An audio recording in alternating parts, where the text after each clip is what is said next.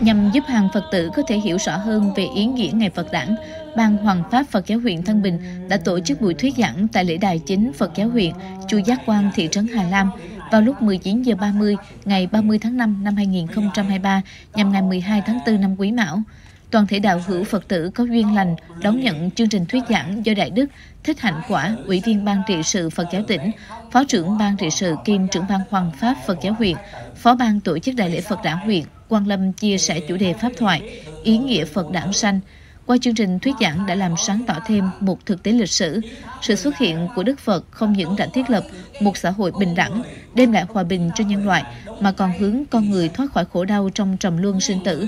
thiết lập tình hữu nghị giữa các quốc gia trên thế giới. Trước đó, Ban trị sự Phật giáo huyện tổ chức đoàn viếng nghĩa trang liệt sĩ, tiếp tục các hoạt động từ thiện, Ban từ thiện xã hội Phật giáo huyện và Hội từ thiện gieo hạt từ tâm chùa Giác Nguyên chia sẻ các suất quà cho các hộ gia đình có hoàn cảnh khó khăn trong địa bàn huyện, góp phần vào chuỗi sự kiện đầy ý nghĩa thiết thực, nhân văn, dâng lên đồng cúng dường ngày Đức Thế Tôn ra đời.